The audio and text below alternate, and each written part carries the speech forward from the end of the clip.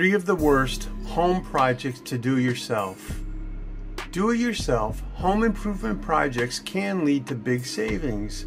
But as a licensed real estate agent, I'm here to tell you it's better to leave some tasks to the pros. Here are three of the worst projects to try to tackle yourself. 1. Electrical work. The risk of fire from faulty wiring far outweighs any cost savings. And trust me, any mistakes will turn up at a home inspection when it's time to sell. 2. Adding a bath or a shower. Leaks from poor plumbing can do serious damage to your home.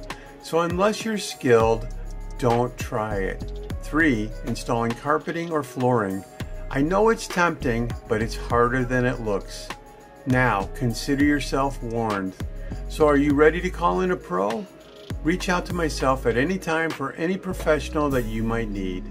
Hakuna Matata. It means no worries for all your real estate days.